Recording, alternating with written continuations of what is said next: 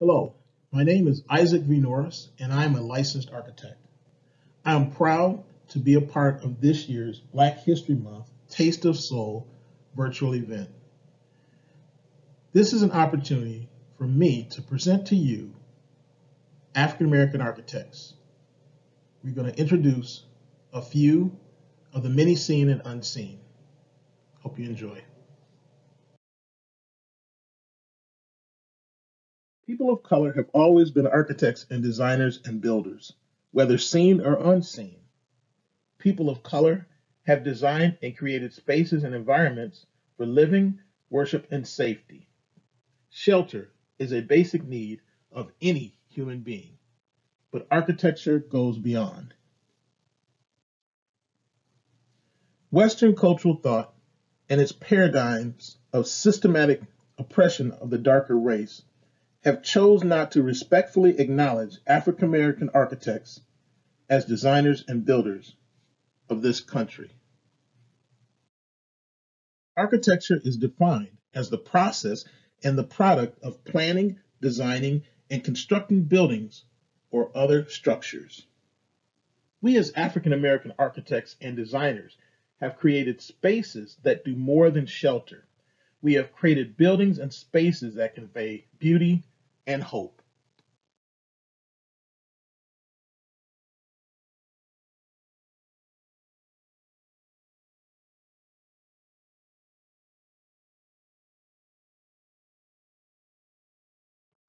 This systematic oppression of the African American architect has led to underrepresentation and lack of visibility in the profession.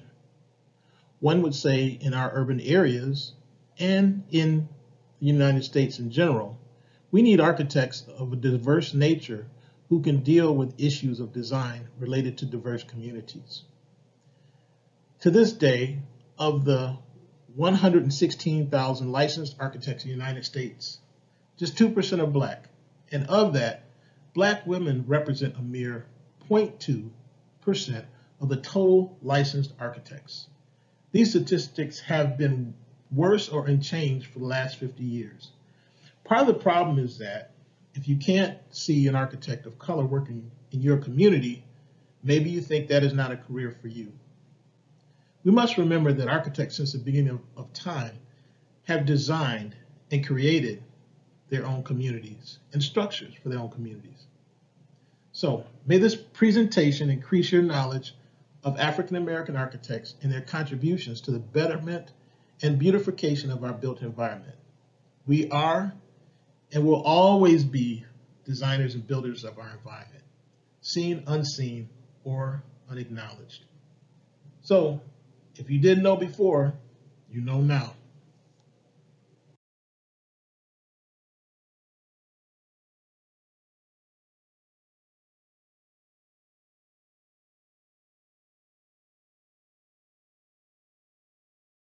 Robert Robertson Taylor was an architect and educator.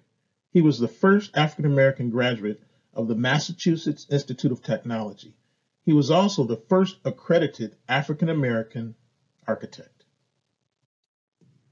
His father, Henry Taylor, was born into slavery and later freed in 1847. Henry Taylor was a carpenter and businessman. In 1892, Robert Robertson Taylor served as campus architect at Tuskegee Institute at the direction of Booker T. Washington. Up until 1932, many of the buildings designed on the Tuskegee Institute campus were designed by Robert Robertson Taylor. Julian Abele is an architect who designed many large public buildings that still stand today.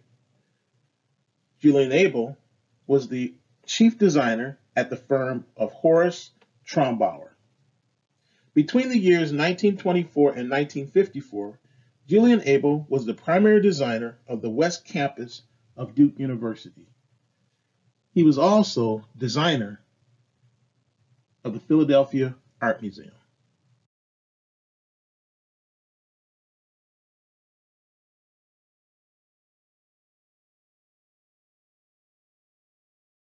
Vertner Woodson Tandy was born in 1885 in Lexington, Kentucky.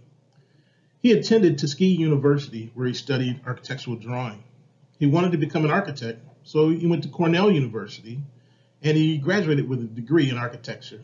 He later became the state of New York's first registered black architect with offices on Broadway in New York City. Tandy's most famous commission was probably Villa Lewaro, the $250,000 mansion of Harlem millionaire uh, Madam C.J. Walker. Although his work is not celebrated and taught in majority architectural schools, Paul R. Williams is probably one of the most well respected and accomplished architects of his time.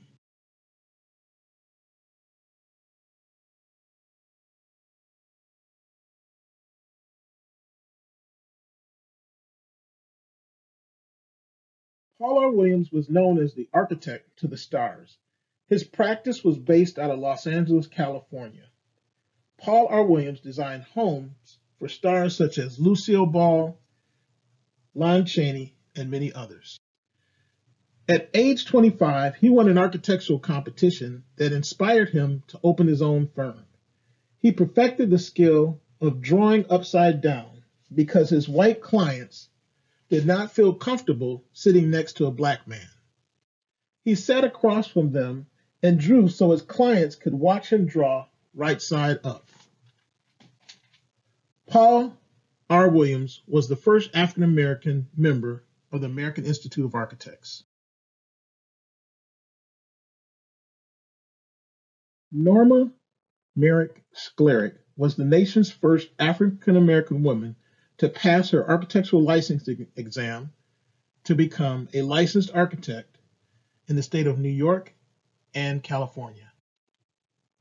Norma Sklarek held the distinction of partner in numerous Los Angeles-based architectural firms.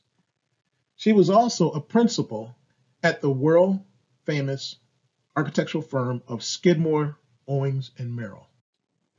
Norma Sklarek enjoyed serving as lead architect on many projects. Almost always, she was the only woman, black woman, at the table.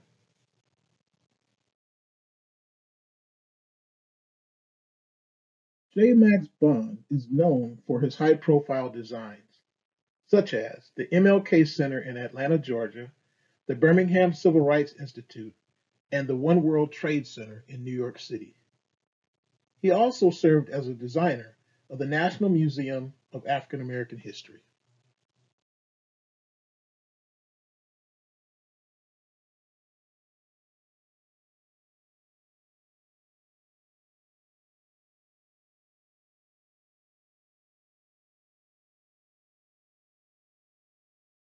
Phil Freelon was born in Philadelphia, Pennsylvania, and he was inspired at an early age by the architecture of Julian Abele. In 1990, Phil Freelon founded the Freelon Group. In 2009, along with partners J. Max Bond and David Adjaye, they were selected unanimously to design the Smithsonian National Museum of African American History.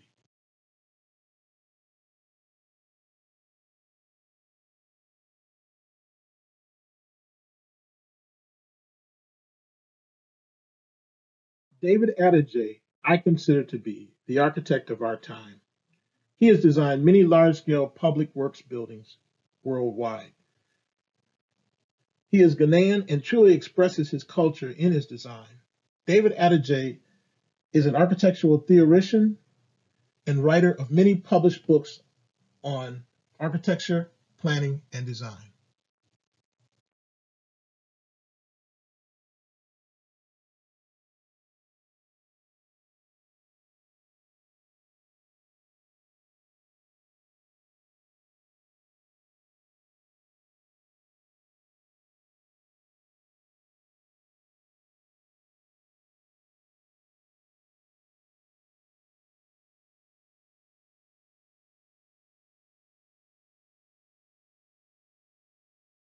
Thank you for allowing me to introduce to you the foundation of African American architects.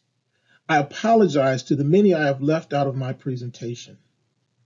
There are so many more architects who have contributed to the design and shaping of our physical environment.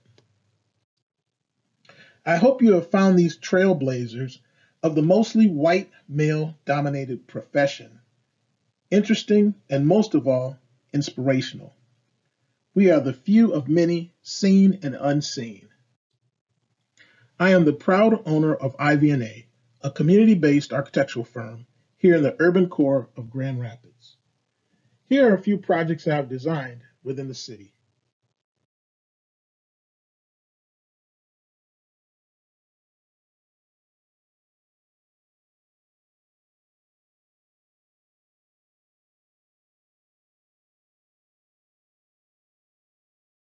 We are all connected by our common history. We were able to become architects because of those predecessors who led the way. For me, my architectural mentor was Judson Jones, the first African American architect to own a firm here in Grand Rapids, Michigan. Marshall Purnell, who owns the firm Devrouax and Purnell in Washington, D.C., was the first African American to become president of the 160 year old American Institute of Architects. Linda Haight was the first African American woman to be licensed to practice in the state of Michigan. A new generation of skilled African American architects has been birthed by our city, and they are prepared to offer culturally sensitive design solutions that embrace diversity and promote equity.